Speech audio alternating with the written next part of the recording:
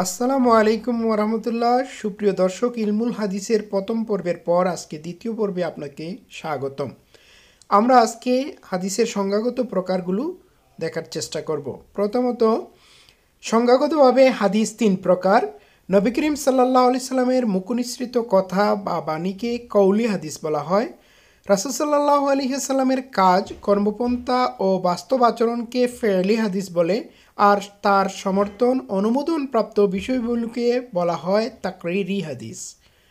বর্ণনাগত কারীদের সিলসিলা বা ধারাবাহিকতা অনুযায়ী হাদিস তিন প্রকার।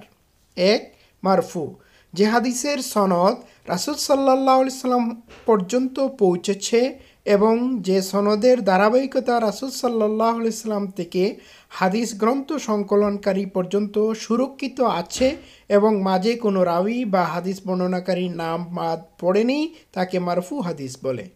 দুই, মাওকুফ। যে হাদিসের বর্ণনার সূত্র সাহাবি পর্যন্ত পৌঁছেছে, তাকে মাওকুফ হাদিস বলে।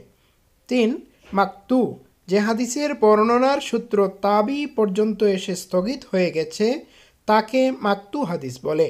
রাবিদের বাদ পড়ার দিক থেকে প্রকারভেদ দুই প্রকার। এক মুত্তাসিল উপর থেকে নিচ পর্যন্ত যে হাদিসের সনদ বা বর্ণনাকারীদের ধারাবাহিকতা সম্পূর্ণ অক্ষুণ্ণ রয়েছে এবং কোনো পর্যায়ে বর্ণনাকারী উজ্জ্ব নেই, এরূপ হাদিসকে হাদিসে মুত্তাসিল বলে।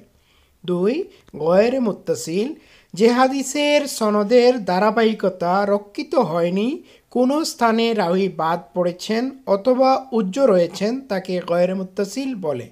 গয়ের মুত্তাসিল আবার চার প্রকার। এক, মুনকাতি। যে হাদিসের বর্ণনাকারীদের ধারাবাহিকতা অক্ষুণ্ণ না থেকে মাঝখান থেকে কোনো বর্ণনাকারীর নাম উজ্জ রয়েছে তাকে মুনকাতি হাদিস বলে। মোয়াল্লাক। যে হাদিসের গোটা সনদ বা প্রথম দিকের সনদ উজ্জ রয়েছে তাকে হাদিসে মোয়াল্লাক বলে। মু দাল যে হাদিসের ধারাবাহিকভাবে দুই বা তার অধিক বর্ণনাকারী উজ্জ থাকেন, তাকে হাদিসে মু দাল বলে।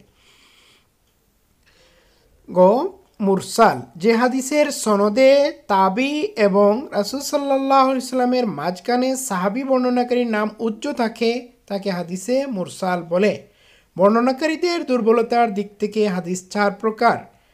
এক, সাজ, যে বর্ণনাকারী বিশ্বস্ত বটে, কিন্তু হাদিসটি তার চাইতে অধিক বিশ্বস্ত বর্ণনাকারী বর্ণনার বিপরীত তাকে সাজ বলে।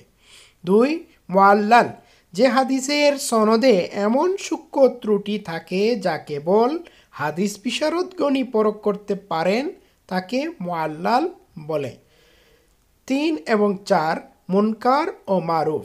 কোনো দুর্বল বর্ণনাকারী যদি কোনো বিশ্বস্ত বর্ণনাকারীর হাদিস বর্ণনা করেন, তবে দুর্বল বর্ণনাকারীর হাদিসকে মুনকার এবং বিশ্বস্ত বর্ণনাকারীকে হাদিসে, বর্ণনাকারীর হাদিসকে হাদিসে মারফু বলে। সম্মানিত দর্শক, এই ছিল আজকের আয়োজন। আগামী ভিডিওতে আসবে আরও বিস্তারিত। সাথে থাকুন, সাথে থাকার জন্য আপনাদেরকে ধন্যবাদ।